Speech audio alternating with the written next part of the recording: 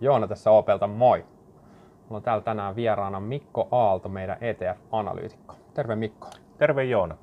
Hei Mikko, markkinoilla on nähty nyt kovaa hermoilua suuntaan ja toiseen ja semmoinen vahva epävarmuus leimaa koko tätä tunnelmaa ja ilmapiiriä tällä hetkellä. Ää, näin niin kuin ETF-analyytikkona, minkä näköisiä ratkaisuja sä hakisit tähän markkinaan? On, onko jotain ostettavaa vielä jäljellä?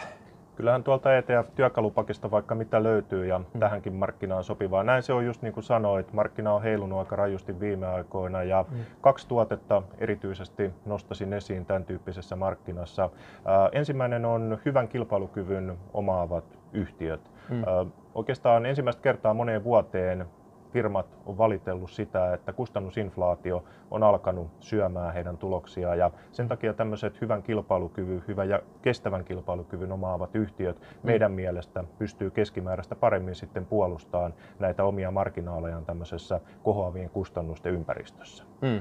Toinen sitten, mitä nostaisin esiin tähän markkinatilanteeseen, on osinkoaristokraatit. Joo. Se määritelmähän vähän vaihtelee, mutta Yhdysvalloissa yhtiön on pitänyt pystyä 20 vuotta putkeen nostamaan sitä dollarimääräistä osinkoa, että tämmöisen osinkoaristokraatti-termiä sitten pääsee käyttää. Ja kun Kyllä. mietitään justiinsa tätä epävarmuutta, mitä markkinoilla nyt on nähty, niin mä uskon, että sijoittajat arvostaa sitä, että mm. se osinkotuotto on vakaata. Näin välttämättä on niitä Yhdysvaltojen osakemarkkinoiden parhaita osingonmaksajia, mutta ne on ehdottomasti varmimpia ja se on mun mielestä tässä markkinatilanteessa ehdottomasti se tutustumisen arvoinen juttu. Kyllä, joo, ja onhan tuo hurja rekordi, jos sä 20 vuotta peräkkäin pystyt on, parantamaan. On. Ja Kun vielä muistaa sen, että 20 vuotta tarkoittaa sitä, että myöskin finanssikriisistä on menty läpi osinkoa nostaa, niin kyllä se aikamoinen happotesti näille yhtiöille on ollut. Just näin.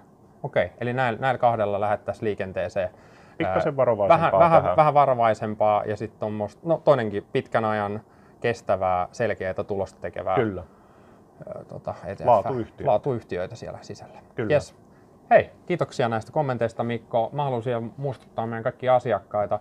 Tosiaan kesällä tehtiin hinnastouudistus ja sitä kautta alennettiin KV-kaupankäynnin hintoja ja omistaja-asiakkaille tehtiin prosentin palkkiokatto meidän kaupankäyntiin.